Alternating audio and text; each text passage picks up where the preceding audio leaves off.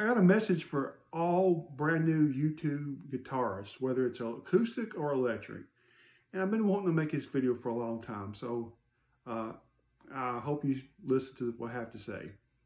So if you want to start posting videos of yourself playing the guitar, go ahead and do it, guys.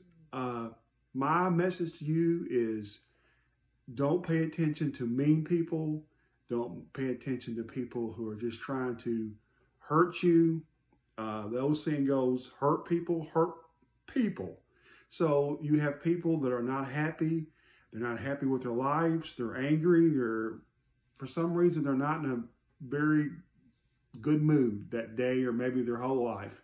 And so they're going to make fun of you. They're going to critique you. They're going to tell you what you need to do, how you don't sound good, you're horrible, you stink.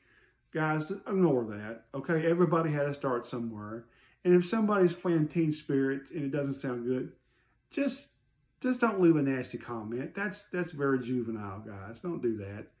And you know, a lot of times I've seen the people who critique people and they critique videos and they critique someone's playing style. If you click on their channel, you know how many subscribers they have? They don't have any subscribers. You know how many videos they've posted?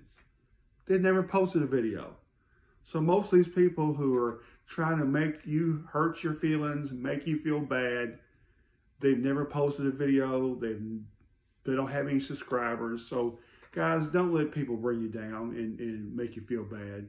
And and if you see somebody starting out, leave a comment and and and tell them, you know, hang in there. You're doing a good job don't give up. So guys, uh, hang in there, uh, be think positive, and don't let people bring you down.